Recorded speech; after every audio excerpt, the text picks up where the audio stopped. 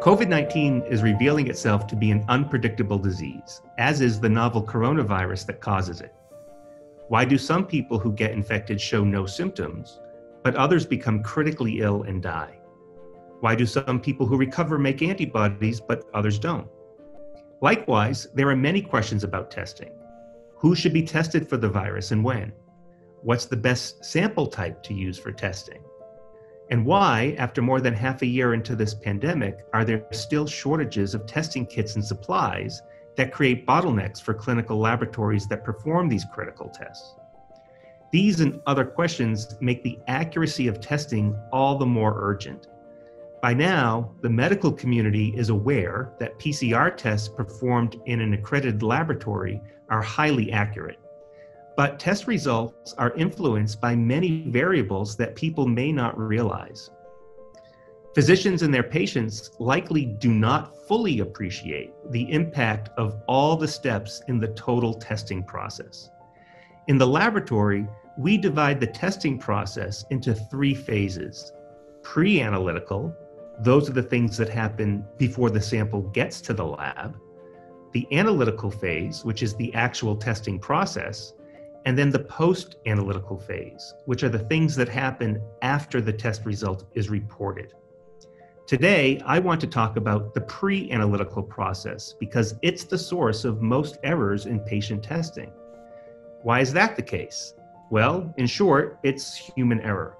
This is especially true with incredibly sensitive and accurate tests like PCR tests for the coronavirus, where even small errors can have profound effect on test results. Let's start at the sample collection step. What type of sample is to be collected? Nasopharyngeal, nasal, sputum, oral fluid? Each of these has their pros and cons. A nasopharyngeal sample requires a healthcare worker with personal protective equipment to obtain the sample, while nasal and oral fluid samples can be self collected. But patients aren't usually accustomed to collecting their own samples, so that's one possible source of error.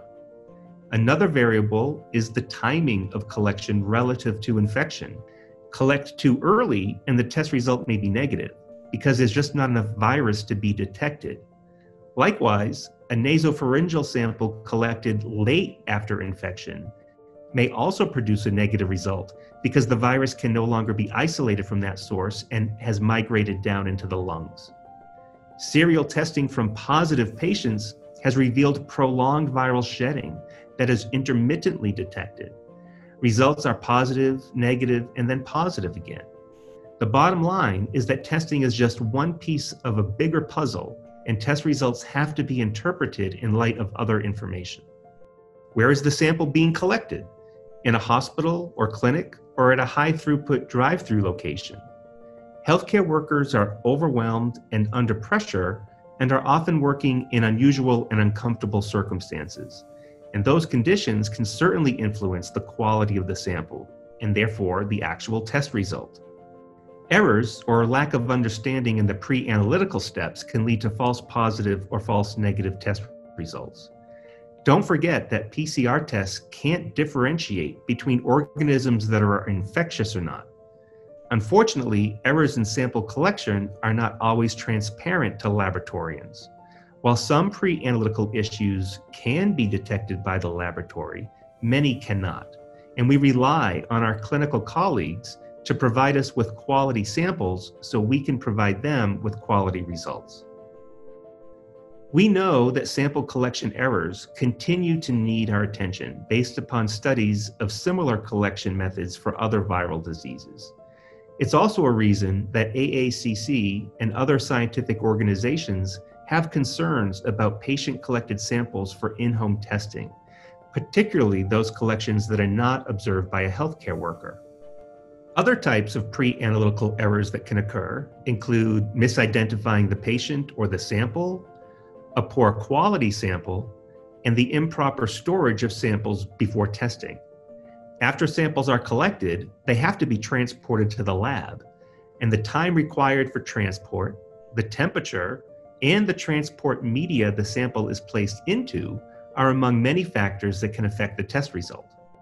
Even as nurses, physicians, and clinical laboratory professionals continue their heroic efforts to the pandemic, our teamwork must also include the same passion for quality that ensures reliable testing during normal times.